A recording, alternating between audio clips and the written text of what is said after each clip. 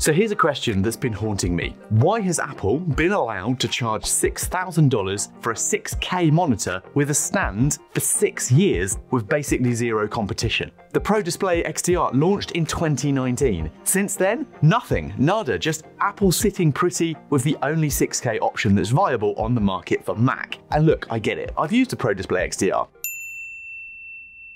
in the Apple Store. It's gorgeous, that 16,000 nit HDR, chef's kiss. But six grand for a monitor for most people, not sure. We might even get the Pro Display XDR 2 this year, and I can tell you now, I probably won't be able to afford it. I'm sorry, but unless it files my taxes and makes me coffee, it's a tough sell. Sorry, it's terrible. Something arrived at my door this week that might change that. This is the QCon G3 2P. It's 6K resolution, it's 32 inches, and it looks suspiciously like a certain Apple product. It costs $1,800, including the stand, and the VESA mount, and all the cables. So the question is, can a monitor at a third of the price actually deliver against that Apple Goliath? So let's get this thing out, set it up, and put it through its paces. Now I'll be completely honest about whether this is actually worth your money or just a pretty face. Apple are not gonna like this. Thank you to Kuycon for sending this over and partnering on the video, and to me for my new minimal monthly calendar wallpapers. Ha! Let's go. Right, let's crack this thing open. Now the first thing that we'll probably notice is that the packaging is not very Apple-esque. It's pretty simple, but I suppose that's not important once you've opened it.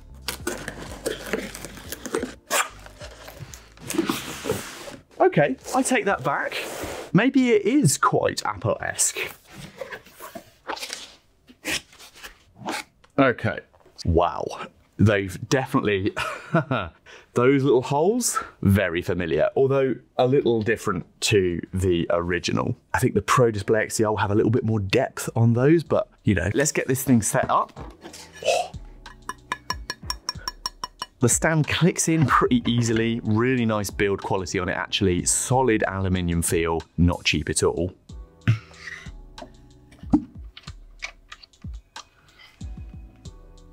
Now you don't see that easily with the HDR, a beautifully engineered VESA mount. Right, time to show the front of the monitor.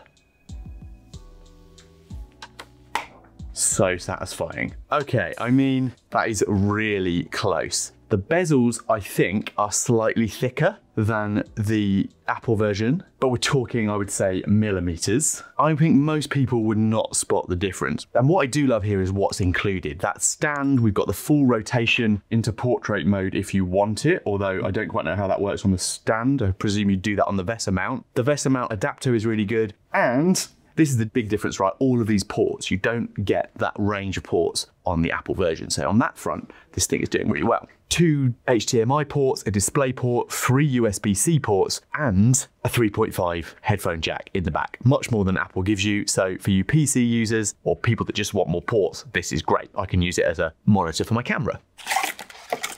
I've got two remotes. This little remote, absolutely genius for changing settings without reaching around the back like some kind of a tech archaeologist. Okay, then if you can see from my top camera here, but this isn't quite as refined around here. You've got a little bit of a raised edge. It isn't a perfect match to the mount. The edges all look pretty good though. It's pretty well done. Okay, so it isn't completely as perfect a build. You're never gonna quite match that 6K beautiful Apple machining, but it's really, really close. And at this price, it's fine. We're gonna live. Now, one thing I really appreciate is this, that it can charge your MacBook up to 100 watts over the USB-C. So genuinely one cable to rule them all. So connected to your MacBook, get power delivery, get video output, get USB-C pass-through. That's exactly how I want to work. Okay, let's plug it in and see what happens. There's a little tiny button under here. Koicon, QCon. Let me know in the comments how you say it. I'm Not sure how you would.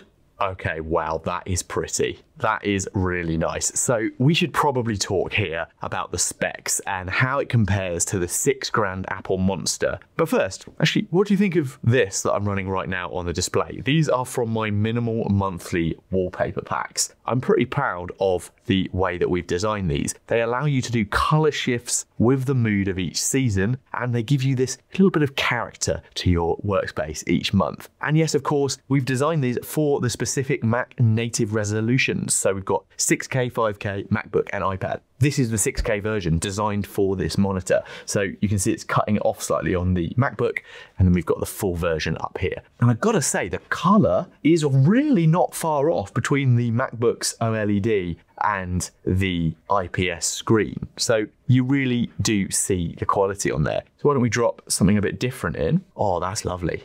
Look at that. So this sounds like your kind of thing. We've got gradient options in here, and we also have solid color options. So if I find the, there's a solid color option too. Really nice match. So if this sounds like your kind of thing, click the link in the description to check them out, and I hope you enjoy them. Anyway, back to these monitor specs.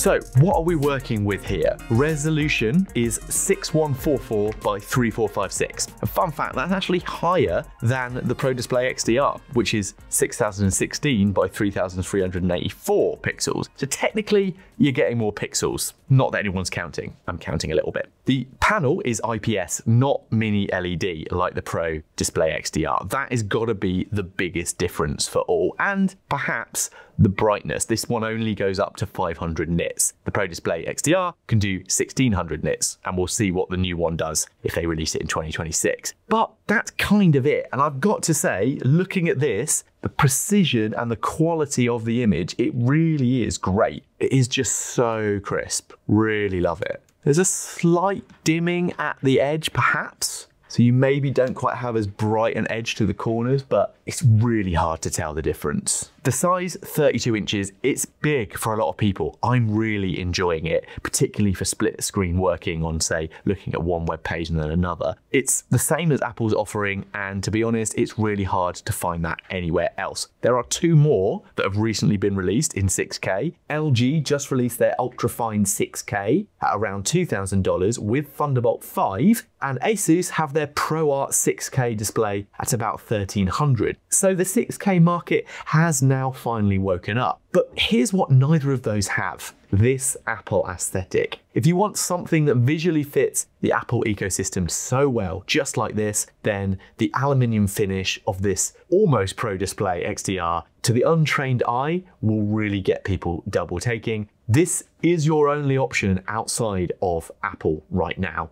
if you want that. Is it worth the extra few hundred over the Asus?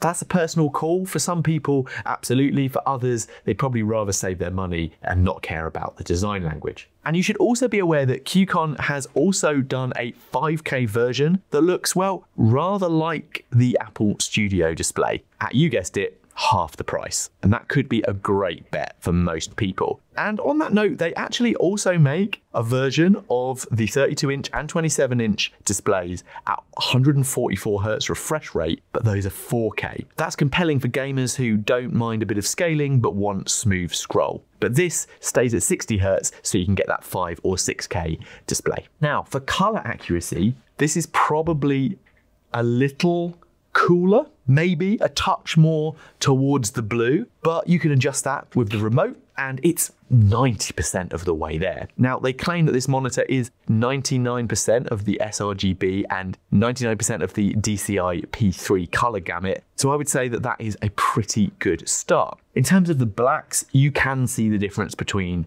the MacBook and the monitor. You don't quite have that depth of black as the LED, but to be expected. But unless you're doing serious HDR color grading, most people won't notice that day to day. And if you're watching this right now and thinking, all right, Simon, but how does this actually compare side by sides to the Pro Display XDR? Well, I don't have a Pro Display XDR at home because I don't have five or six thousand pounds lying around for a monitor. Shocking, I know. But I do know who does have both, and that is Olia. So let's take a look at his side-by-side -side footage. Can you tell which is which? From the front, they're practically twins, and the back is where I think you see the design differences. And the stand profile's nearly identical thickness. Now, here's my perspective from actually using the Pro Display XDR in the Apple Store. The HDR experience is unreal. When you're watching HDR content in that 16,000 nit display, it's like someone took the sun and put it behind your video. Genuinely stunning. That's a terrible line. But here's the thing, how often are you actually watching HDR content at peak brightness? For most of us doing design work, editing videos, browsing the web, writing documents, 500 nits is plenty. It's bright, it's sharp, and it's 6K. So the Pro Display XDR is a professional reference monitor built for color critical video and photography work. It's factory calibrated to compete with monitors that cost $20,000, $30,000 in the film industry. This this is a great 6K monitor for people who want the resolution and the aesthetics without selling a kidney. All right, I've got one tiny quibble about this monitor. So I'm in two screen mode. I shut it, it goes into clamshell and it's still shows me what I need to see. If I unplug it and plugged it back in, what I would expect to see happen is the home screen turn up for me to be able to sign in, but it doesn't.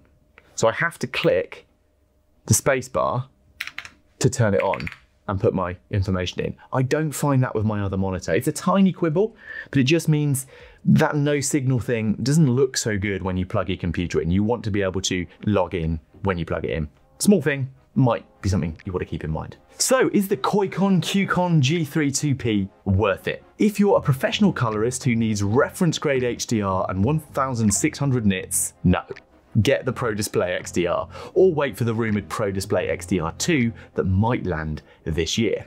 But if you're like me, someone who wants 6K resolution, 32 inches of screen real estate, without that scaling, so Mac native scaling, with that premium aesthetic, this thing is brilliant for under $2,000. Now, $2,000 does seem like a lot of money still for what is essentially a copy, but it's a very, very good copy. The build quality is great. I would say this is delivering 85% of the Pro Display XDR experience at less than a third of the price. For most regular people, that's a pretty compelling deal. Anyway, click my face to get subscribed if you haven't. Don't forget to grab my new calendar wallpapers below.